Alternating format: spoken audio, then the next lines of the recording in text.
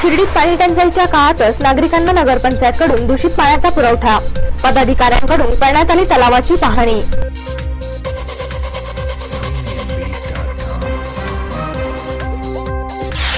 कोपरगाव येथील लालबावटा शेतकरी शेतमजूर यांच्या वतीने काढण्यात आला तहसीलवर मोर्चा. नायब तहसीलदार यांना देण्यात आले निवेदन. संगमनेर शहरात विजेच्या पोलावर काम सुरू असताना एकाच लागला विजेचा शॉक. तातडीने उपचार केल्याने ठोंबरे बालबाल बचावले.